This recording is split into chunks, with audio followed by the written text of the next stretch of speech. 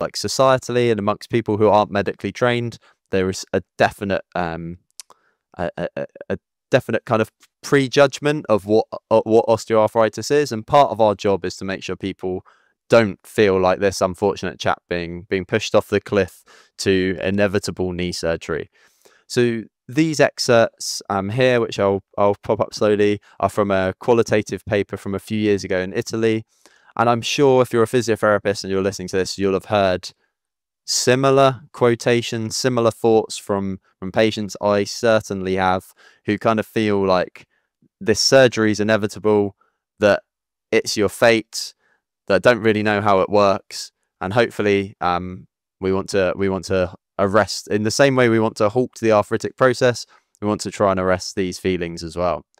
So trajectories, and I probably should have um, put the IES in capitals here, is a really important concept for this. And making sure that people know that it's not like this. Unfortunately, the societal paradigm is once osteoarthritis starts, it is inevitable. Nothing is going to stop um, this this downward uh, trajectory.